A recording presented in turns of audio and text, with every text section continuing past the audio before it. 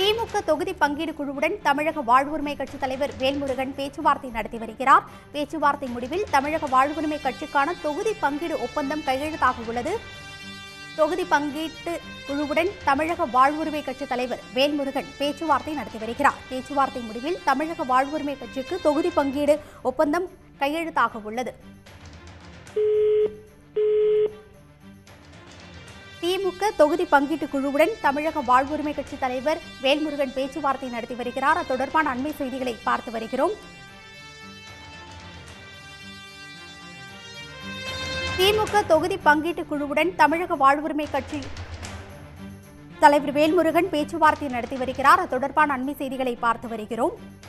பேச்சுவார்த்தை முடிவில் தமிழக வாழ்வுரிமை கட்சிக்கான தொகுதி பங்கீடு ஒப்பந்தம் கையெழுத்தாக உள்ளது. திமுக தொகுதி பங்கீடு குழுவுடன் தமிழக வாழ்வுரிமை கட்சி தலைவர் வேல்முருகன் பேச்சுவார்த்தை நடத்தி வருகிறார்.